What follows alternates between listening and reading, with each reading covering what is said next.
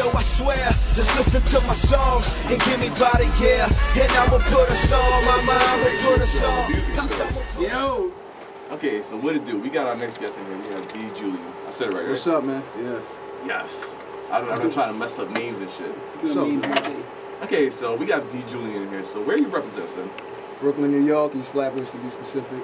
Oh, another Brooklyn guy. Oh, We're man, from we- Queens, Are oh, you man. from Queens? What part? All of us. Everybody here from Queens? No, he's from he's from the Oh, From Bronx. the X, so y'all, y'all had a trip. But um, You what part, never- of, what part of Queens? We're, we're Springfield. Me and him are Springfield. He's Queensbridge. Okay. Projects. Home and the Knots. Home Yeah. Of, yeah. Queens is cool. Queens is cool. You get a pass. What do you get a you? Matter of fact, you get a pass. son. I You get a in pass? today. Uh, yeah, I'm in Queens today, so I get the I get the pass from y'all too. So what you do? Take the G train? Nah, I took the um, four train to the N train to the seven train over there. How long did it take you, son? Probably like an hour. I hate like when I take the when we take like the four trains to Brooklyn College. It's like the longest ride ever. Son. It's like five, like how many? Like two hours or some shit. But the D train is just the ghettoest train out there in Brooklyn. Whatever, son. Yo, you had, we have D. Julien. Let's get back to this. So how'd you really get into music, son? Uh, I mean, I, I always been rapping. You know, I started rapping probably when I was 10. Mm-hmm. Thought I was probably the best fifth grader in the world. You know, like nobody could touch me.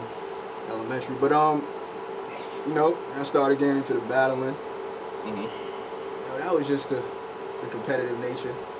Everybody want to compete, so So you so you were beating down people with battles, Okay. beat rappers. yeah, man. Yo, you got any names right here? You want to start beef?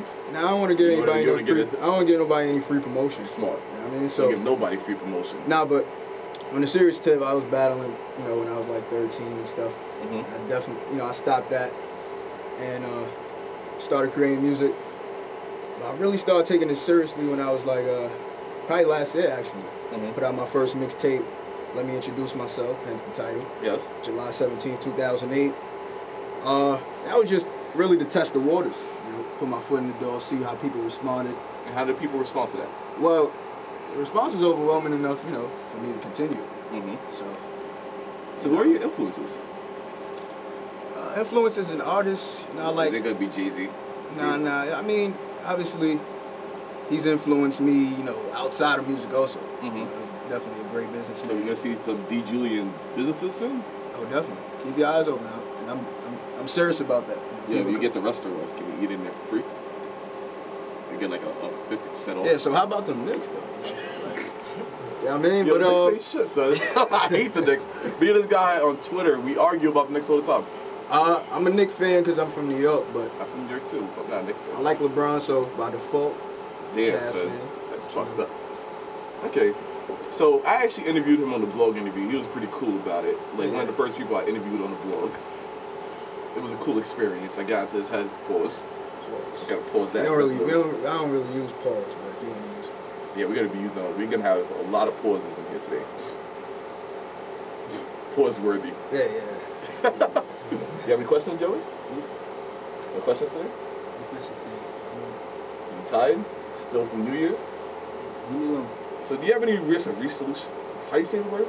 Resolutions. Resolutions for the New I actually don't do New Year, New Year's resolutions. I used to. I used to, but um, I told you. I don't, I don't do them I told I them seven. No, don't work, man. you know, it's not that it don't work. It's just that a lot of people don't. I'd rather write to it. goals out That- that paper. that and um, you know, just for me, it's just like, come on, man. You know, I'm gonna do what I want. I don't want to have to feel like I'm limited to this just because I made this my resolution.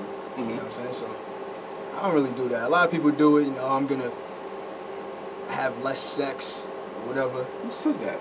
You'd be, su- you'd be surprised. If something that. What? Are you? Yeah, that wasn't me. That's not something I want to really, you know, that's not an acti- What just activity made I you? want to cut What just down made on. you contemplate that out of your head? Did you just make that up? I didn't make it up. I'm, I seen that on Twitter. I follow some crazy people, man. that's all you can say. That's how you. That's how you end it. I follow some some very interesting people. Okay, so what's the first song that you want to get into right now?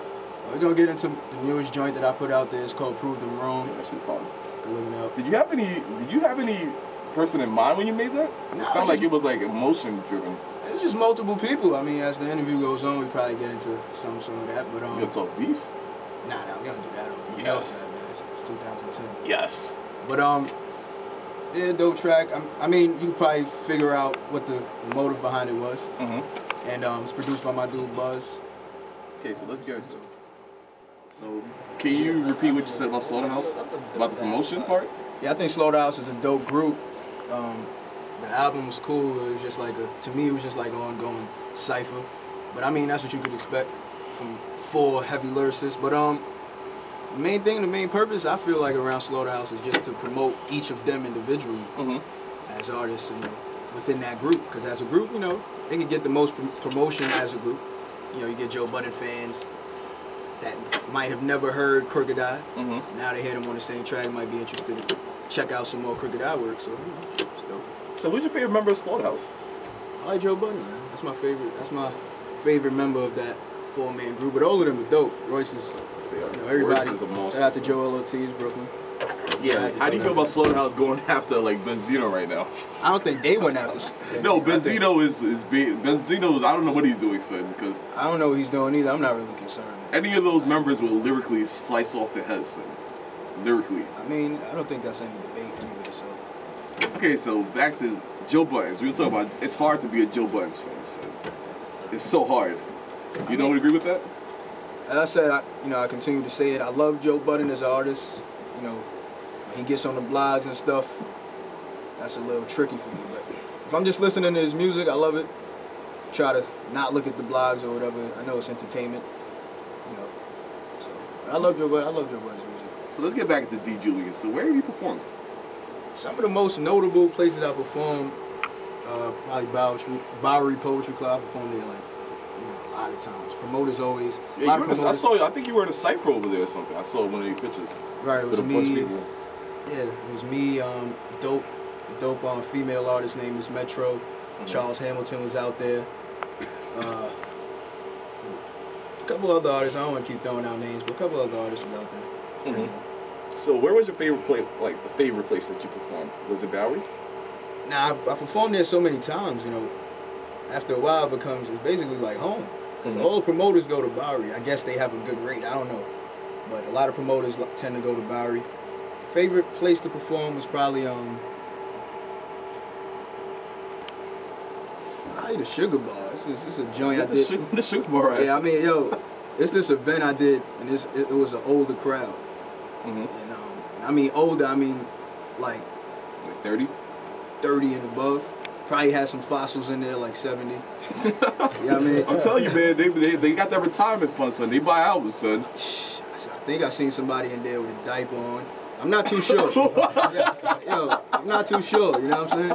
I'm not too sure, but it was definitely a dope spot though. The you know what I like about a venue?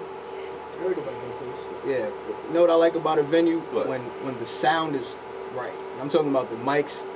You know, it's a cohesive blend with the sound system. I'm not talking about, you know, I gotta look at the DJ up there and tell them, raise my mic. You know, everything is great. And that's what the sugar buzz. is. So we gotta talk about the buzz that you received. Like you got your buzz from a double XL article, right?